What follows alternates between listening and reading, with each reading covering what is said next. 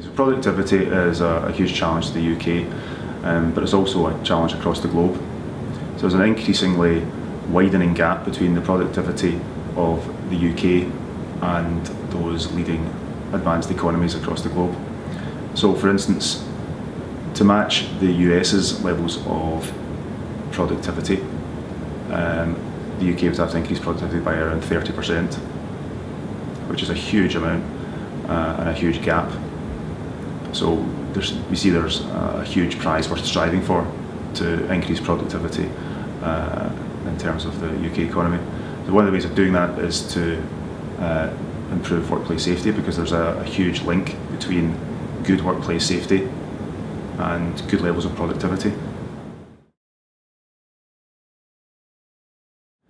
So the costs overall to the UK uh, was 14.9 billion pounds in terms of new cases of workplace ill health and workplace injuries.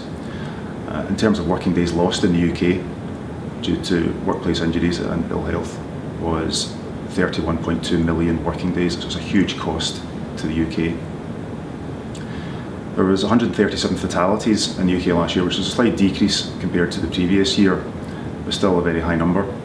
And most significantly, uh, workplace stress became the number one cause in the UK of work-related illness, overtaking musculoskeletal disorders. There's a direct correlation between low levels of productivity and poor workplace safety. So the benefits of good workplace health and safety includes low levels of accidents, incidents, uh, low levels of absenteeism and improved staff morale. So the benefits of uh, better workplace health and safety um, can really have a big impact on improving productivity, reducing production delays and improving profits for the company.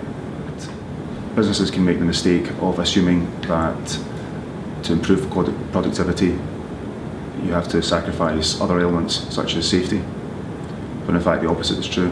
Evidence suggests that good businesses that are have a good positive health and safety culture and are well run are also very well uh, well performing economically as well.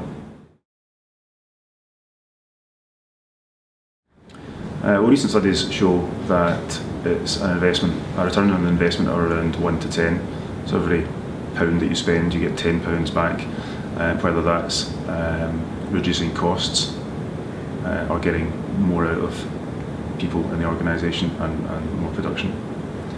Uh, so it's a, a no-brainer really when it comes to businesses that they should be investing in, in health and safety because it has a, a, huge business benefit and shouldn't be seen as a cost that can be cut when uh, the bottom line needs to be improved.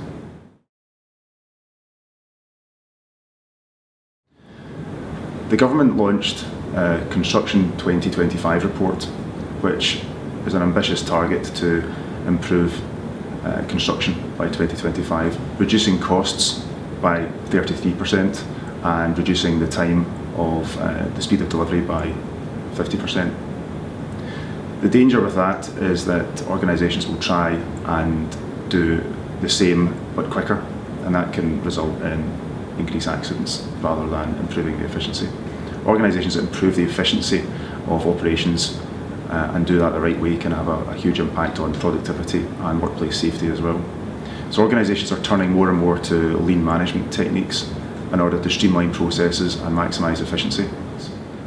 And it's the approach of uh, the organisations need to take, need to be aware of rather than just trying to push workers to do more for less because that will just have a negative impact on workplace safety.